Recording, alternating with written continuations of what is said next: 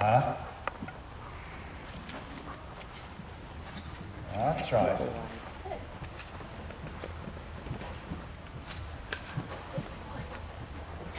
Okay, that's beginning. Right, keep him straight now and just play with the gears a bit more.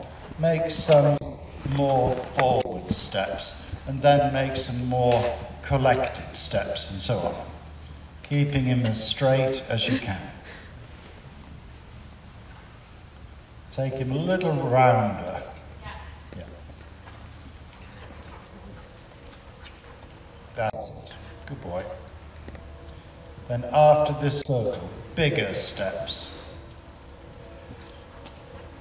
into the reins and smaller steps around a small circle.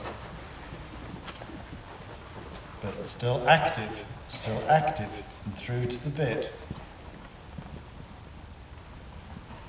That's it. And you can go and change the rein again. Work on those little gear changes. In the longer steps, keep him into the reins. In the shorter steps, keep his hind legs active. That's nice. Active. Yeah, yeah. And still a little bit rounder. Just so that it doesn't put his back away, you know? Very nice. Bigger steps into the reins. Oh, there you go. Smaller steps, active hind legs.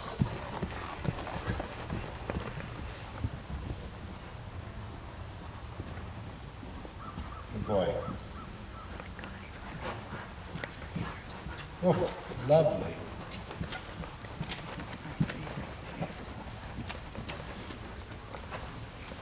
Good. Okay. Let him have another walk break.